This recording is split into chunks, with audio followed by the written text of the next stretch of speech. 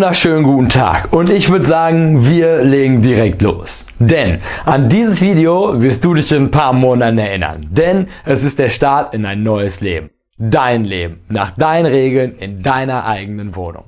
Aber bevor wir uns jetzt überschlagen und den Abschluss eines Projektes feiern, das wir noch nicht mal begonnen haben, müssen wir natürlich erstmal die eine andere große Frage klären. Wieso sollten wir überhaupt ausziehen? Und ist jetzt überhaupt der richtige Zeitpunkt auszuziehen? Auf Frage 1 nach dem großen Wieso gibt es ein paar Antworten. Die gängigste ist vielleicht die, dass du nach zig Jahren bei deinen Eltern einfach an einem Punkt in deinem Leben stehst, an dem du die große weite Welt erkunden möchtest. Ein bisschen erwachsener sein möchtest oder einfach keine Lust mehr hast, dass irgendjemand in der Küche sitzt und dich kritisch anschaut, wenn du nach Hause kommst. Bei bester Laune. Um 2 Uhr nachts. Egal wie rum. In all diesen Punkten geht es ja eigentlich darum, sich ein eigenes Leben aufzubauen. Vielleicht nerven deine Eltern, vielleicht ist dein Kinderzimmer zu klein oder ja, vielleicht hast du auch einfach keinen Bock mehr, am Wochenende zwei Stunden mit dem Nachtexpress zu fahren, um aus der City zurück nach Hause zu kommen.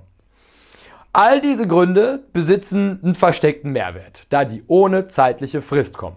Egal ob überbesorgte Eltern, lange Tour mit den öffentlichen Verkehrsmitteln oder der Drang nach mehr Freiheit, du hast es jetzt schon so viele Jahre ausgehalten und auf die paar Monate kommt es jetzt eigentlich auch nicht mehr an. Hier sprechen wir von einer ziemlich exklusiven Situation, denn du kannst deinen Auszug in aller Ruhe planen. Dann gibt es aber halt auch noch Situationen, die nicht ganz so komfortabel sind, nämlich die, in denen die Uhr mitläuft. Vielleicht streitest du dich mit deinen Eltern so sehr, dass du es zu Hause einfach nicht mehr aushältst. Du willst nur noch raus und am besten schon gestern. Jeder Tag ist eine Qual, darum sollte das Ganze mit dem Auszug besser schnell gehen. Vielleicht bekommst du aber auch einen Bescheid, in dem steht, dass du schon in ein paar Monaten ein Studium oder einen Ausbildungsplatz in einer neuen Stadt antreten kannst. Und ja, auf einmal fällt dir auf, dass du dich jetzt besser schnell um eine neue Bleibe kümmern solltest. In beiden Fällen spielt die Zeit eine entscheidende Rolle und der Erfolg hängt von einer geschickten Planung ab.